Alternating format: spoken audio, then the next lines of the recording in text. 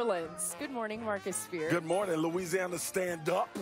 You What's mentioned that. Stand up, Louisiana. Listen, I feel like this has been a long time coming I for know, right? Louisiana, for LSU. LSU is here in New Orleans in the national championship. As an LSU guy, what does this mean for the state, for the fan base? Yeah, it's unreal. I mean, you think about it. The last four national championships LSU has played in have all been in New Orleans, but this one feels a lot different because of what this team has had the ability to accomplish. You look at obviously a Heisman Trophy winner in the last 60 years. The last one was Billy Cannon. He's played.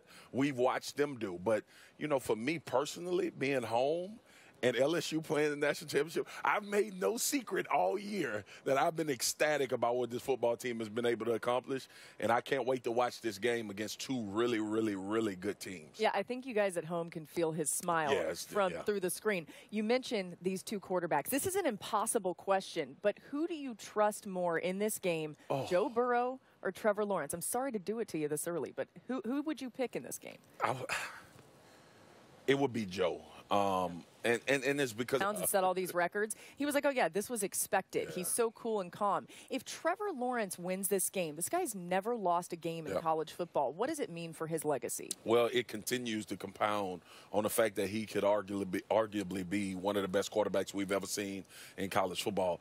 Last this last semifinal game, I want my own guy to, to have a chance to win this game. And it's interesting because they're both quarterbacks, but both of these guys are almost like D linemen in No a way. question. Their Joe mentality. Burrow, yeah, he's the son of a defensive Yeah. coach. He has that about him, just that moxie that you see on both Maybe sides. that's why I like him so much. You Els. do because you're so defensively biased. I know. Okay, we're going to see you guys in just an hour, Greeny, or a little bit less than that. We're talking a little bit of divisional round with Marcus. Acho, loosen one of them buttons on the jacket or something, he man. You can't loosen the buttons. Don't do it. Golly. Might hurt somebody. We'll be back in a minute.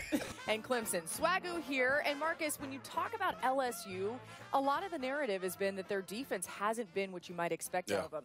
But toward the end of the season, that started to change. Why? Two things happened. Grant Delpit got ha- uh, healthy, and now they're able to use him in multiple ways, similar to what Clemson does with Isaiah Simmons. He's that type of player playing on all three levels of the defense. comes in a little later on. All right, let's switch to the NFL. We have these four divisional round games, and all of the road teams are underdogs. But Marcus here is going to tell us how the road teams can win. So this is they can win if, and we begin with the Vikings. The Vikings win if.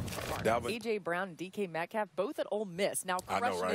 it in the NFL. How about the fact that we just switched from college to pros I mean, and like didn't miss that a beat? little snappage right there. We'll